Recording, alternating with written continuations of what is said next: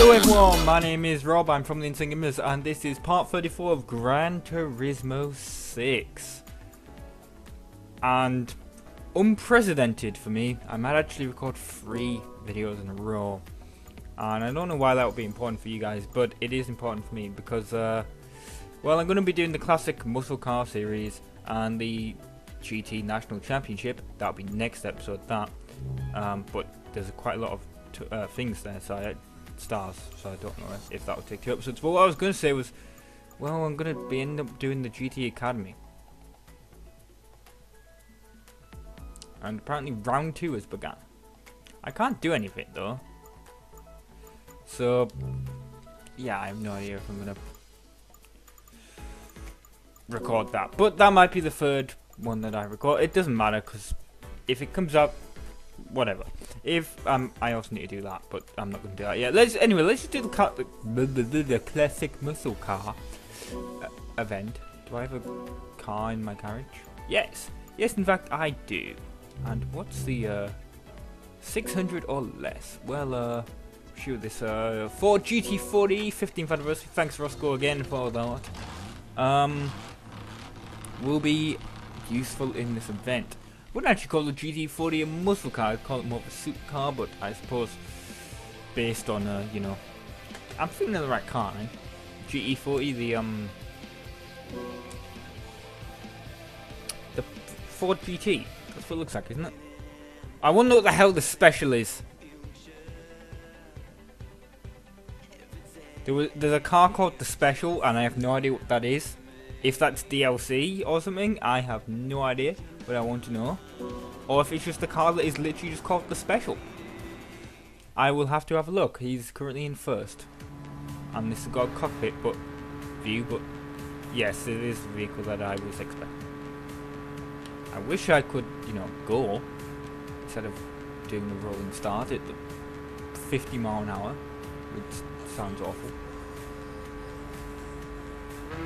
There we go. Jesus, that was, uh, was a long build-up, to be honest. At 50 mile an hour. While this car handles awfully. My God. I'm going to try and drive in this view because I seem to drive better in this view if the car handles awfully for some reason. I think the fact that I, you know, went off the track as well may have had something to do with that.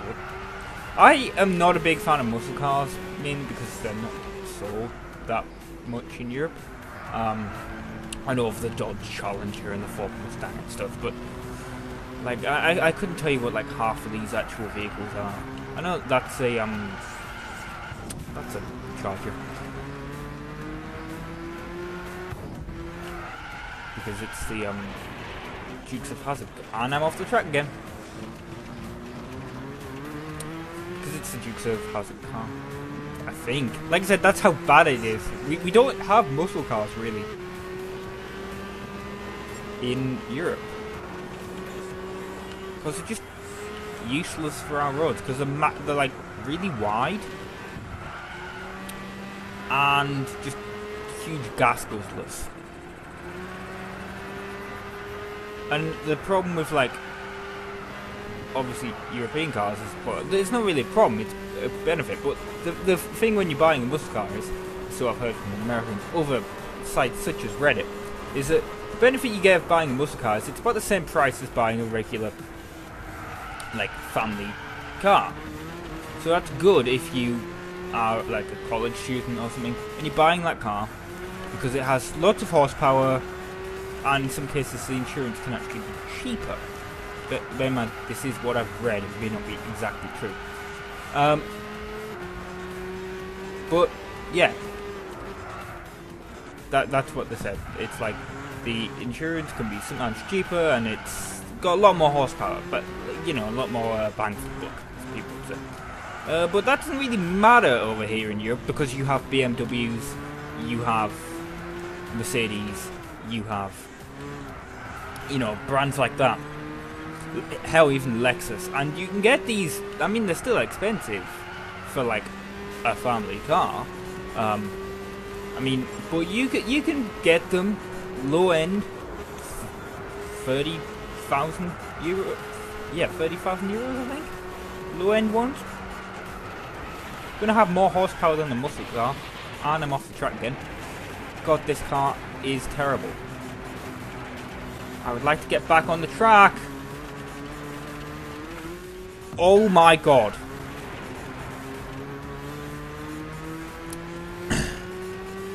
yeah, I, I may be choosing a different car for the next event. I feel.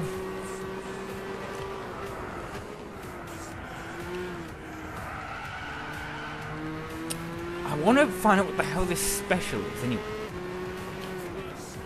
But yeah, that, that's the thing. It's like you can you can get a car with equal amount of horsepower, but you know, four seats, and with actually good build quality. You know, like BMW, Mercedes, they're they're they're pretty good build quality. You know, I mean, it's German reliability, but of course, import taxes and stuff in America. I mean, you know, the muscle cars are cheaper. And I'm off the track again, Jesus. This is not a good car. For me. I mean, maybe I just need to tame it, but... I mean, what is it? This is like a car from what, 66? It, didn't have traction control and stuff like that back then, so... Yeah. I don't think I'm going to win this race. Although I may be able to find out what the special is.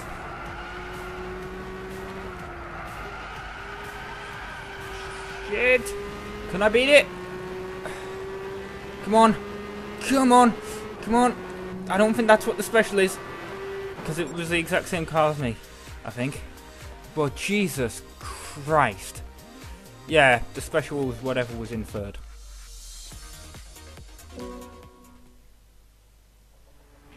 Yeah. Can I uh, change the... No. I wanted to like change between the different Right, but at least I won. That was... That's me. God, that got my heart... That is the kind of challenge that I want in a video game. You know? I want to be challenged like that all the time.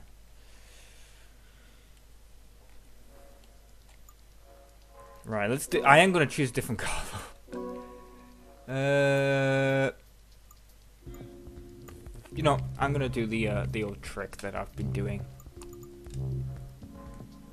and you know car search and get a muscle car. You know, I'm gonna Google Google. I'm gonna search special.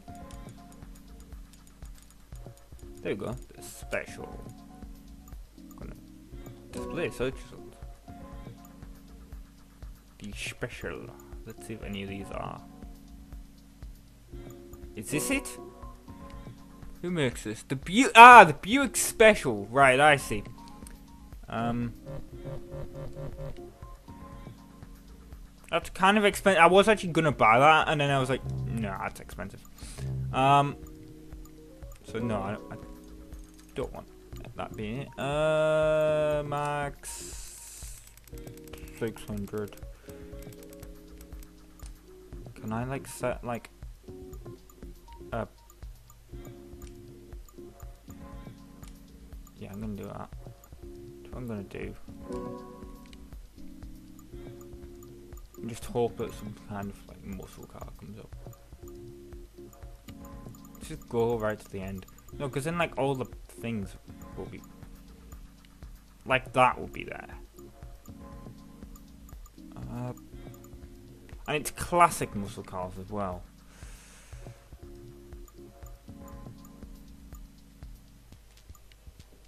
Really want to drive that, but uh, I'm not spending a million credits right now. The Red Devil, when did this come out?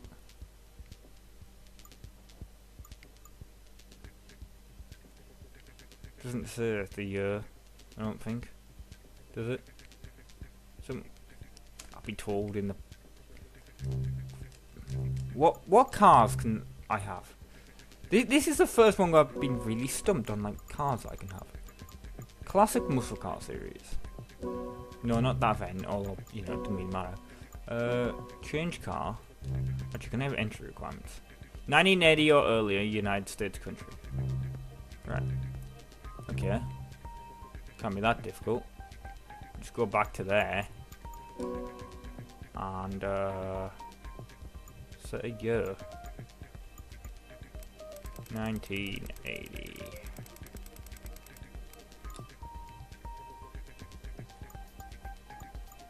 Right, 38 cars. Set the results. Right. Because that's from 1980. Isn't it? Yeah, I'm gonna have to disable that include cars from unknown use. Right. There we go. Cars that reach that exact limit though. The Corvette. I wanna I wanna spend the money on it. You know, no, I'm. Th this is a completely worthless thing to do because I may as well just keep that. I'm, I'm gonna stay in the. Not that event. Gonna stay in the GT40. And I know I said I wasn't to, but I'm, I'm to. Because I, I'm just really confused. And I'm like, what the hell?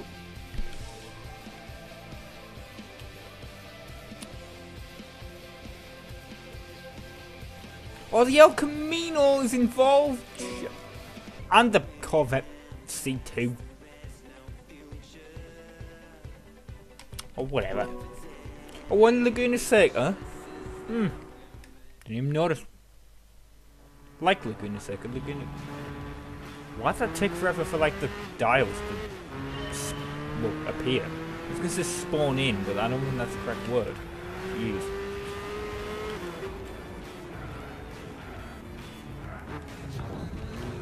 I want to. Well, I don't think it's going to happen unless Insane Gamers becomes a really, really popular channel on YouTube. But I really want to try that thing that Clarkson did. Jeremy Clarkson. Um, years ago on Top Gear, he did a thing where he's like, ah, video games really realistic. And he got a. He, he played Gran Turismo 4, in fact, uh, and did Laguna Seca uh, with an NSX to see if he could beat the video game time. Because obviously games it was to find out if the game was too unrealistic. But he came to the conclusion that I'm driving a car. That this is real life. I don't want to crash and die, but in the video game, I can just push myself to the absolute limit of what's possible because I don't have to worry about smashing straight into a wall and killing myself, is what he said. And also the fact that the game had corners. Like, sorry, the game didn't put corners in that uh, existed in real life. And the car seemed faster and stuff. Than it was in real life. Just a thing that he said. But Seca has always been one of my favourite tracks. Ever since I, I, I've played it. I didn't really like it at first. Well, not, that's not exactly true. I didn't like it first time I played it, but I've got used to it now. And I like it. I, I especially like the, um, the corkscrew. It's called a corkscrew, isn't it? Pretty sure it's called the corkscrew. It's a bit weird because that's the name of a roller coaster. Well, it's ages away from me, but it's somewhat near me in a theme park the closest theme park to where I am, is where I should say. That always confused me.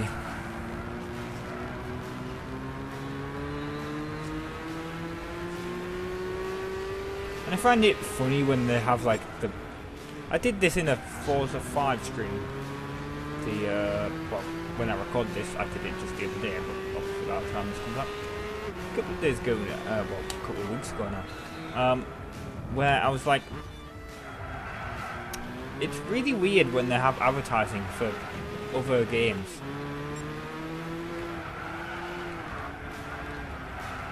on um, like wh- when like they leave the advertising out in games because it's like so that's either an advertisement for the competing platform or you couldn't just pay the companies to get the money.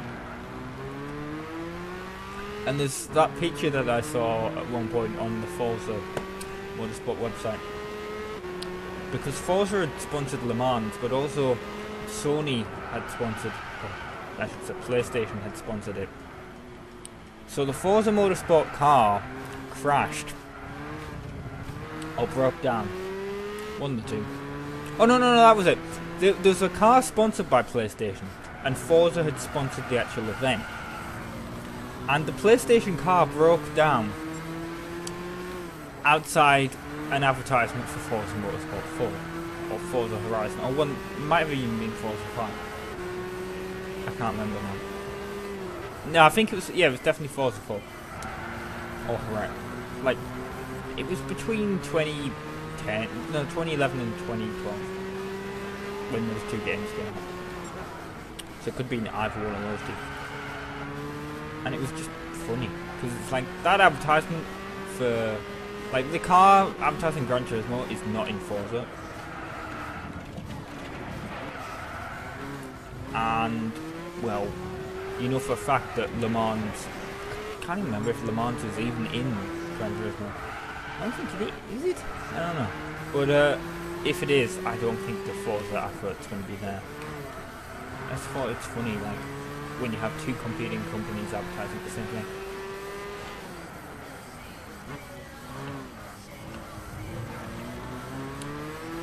Just weird, really. We're gonna win. Well, of course we're gonna win. Look how far ahead we got. Yeah, I'm, I'm still glad I chose this car. It, I mean, it's a bitch to control, but it it's it's worth it. I've seemed to got the hang of it as well now. You earned three stars. Good for me, I guess. Ooh, the Cobra 427 SC slash Chrome. Was uh, the final car that I overtook.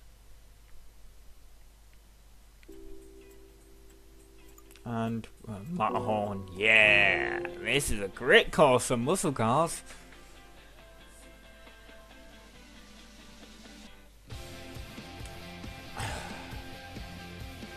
Have you noticed that, like, whenever I make these episodes, though, that there's all the introductory bit, always there's pretty much always something going wrong.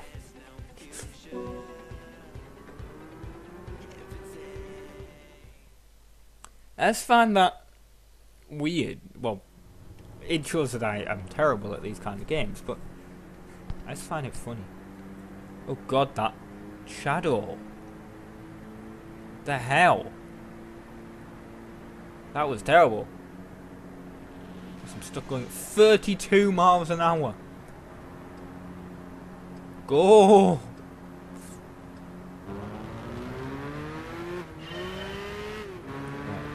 Also, that guy looks like he's got an American flag license plate. Oh shit! No! Ugh. See, I'm terrible. I lost grip almost immediately. What the hell is this plate? He's got a CUDA plate! Cool! I wanna buy one. It looks like an actual license plate as well, but obviously. Oh shit! That's a, um, maybe Chevelle SS? I have no idea. But any if uh, I know that this is an El Camino. I I know that this car exists from Classic Gaming. And um, watch that show by the way. Pretty awesome. Uh, it's on YouTube. It is a YouTube show primarily. Um, although in my opinion it's gone more downhill in the past year, year and a half. Cause like it used to be like game review every day, and now it's like it, it's a game review show. But now it's like, oh, let's do, let's review comics, let's review toy cars, let's review. That's the special. Let's review comic books.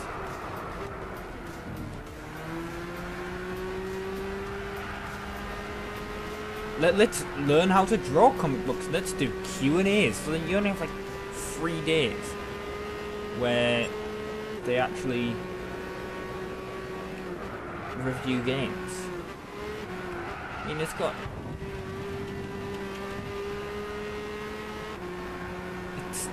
And then, like, one of those days might be a console review. Because they had to go on Daily Motion for a while, the re upload because of YouTube copyright issues. They had, because obviously, as a game review thing, they're more likely to get those problems because. You know,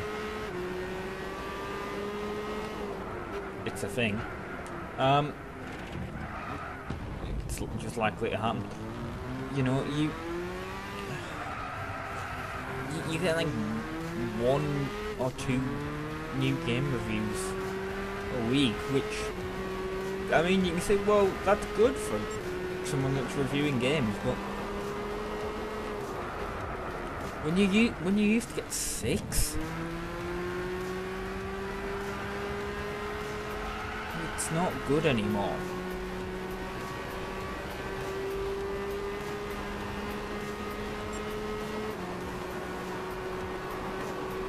Like, I'll, I'll turn my computer on, I'll go on YouTube, and be like, oh, he's reviewed a comic book. I don't care. Or, he's showing us how to draw, or I don't care. Or, he's reviewing a toy. I don't care. I want. I subscribe to the channel to watch game reviews, and you can see that as well in the view counts. And people, I've, I've watched it. Well, I didn't watch it. I heard it. Uh, the Total Biscuit talking about it, where it's like, don't tell people, you know, as a if you're a fan of someone, don't tell them that they shouldn't do something. Don't don't tell them to cancel a show on their YouTube channel because they'll be able to see the analytics and see if the show is popular or not. But the view counts are publicly like view, seeable, like viewable, and you can see that these videos aren't getting the views that like the game reviews are. And it's just I want to see reviews. I don't I didn't subscribe to the channel like, I, I know you think, well, watch Toy Car. I subscribed to see game reviews. I didn't subscribe to see how to draw a. But that's, uh, now I've left that kind of on a downer because I really used to love that show. In fact, I've donated shit to the show. Um, PAL PS2's mine. Bunch of Gran Turismo games that he's probably going to review at some point are mine. Well, a bunch of PAL PS2 games are mine as well. Um, including the worst game in the world. Um, oh man, Dead Eye Sent. That doesn't matter. Thank you very much for watching. And ta